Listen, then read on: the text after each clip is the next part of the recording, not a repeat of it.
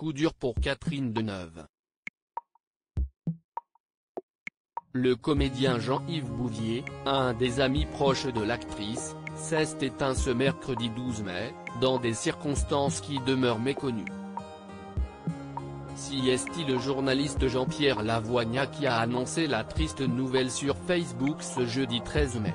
Hier, au moment même où, sans rien savoir, je postais la carte de la boîte Canal à Cannes dont il était, et avec quel génie, le chef d'orchestre, Jean-Yves Bouvier était en train de s'éteindre. On aura au moins pensé à lui toute la journée avec humour et tendresse.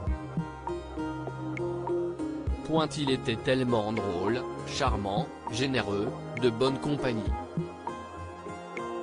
Et doux et tendre aussi. Pensez à Dominique.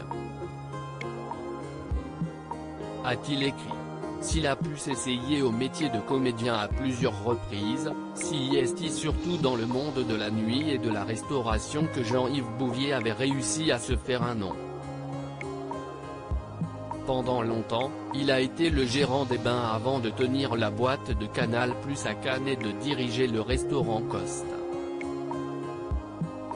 près de 20 ans d'amitié entre Catherine Deneuve et Jean-Yves Bouvier au cinéma, celui qu'on surnommait la Bouve, avait décroché des petits rôles dans des films tels que La Paix.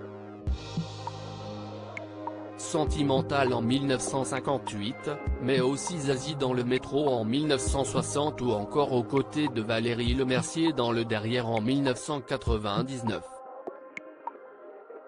Si est sur le tournage de la mini-série Les Liaisons Dangereuses en 2002, que le neveu de la comédienne Jacqueline Maillan avait fait la rencontre de Catherine Deneuve. Le début d'une belle amitié pour ceux qui se sont souvent affichés ensemble lors d'événements mondains, que ce soit à la Fashion Week de Paris ou encore à l'anniversaire de Johnny Hallyday en 2010, qui avait été célébré sur le paquebot des yachts de Paris.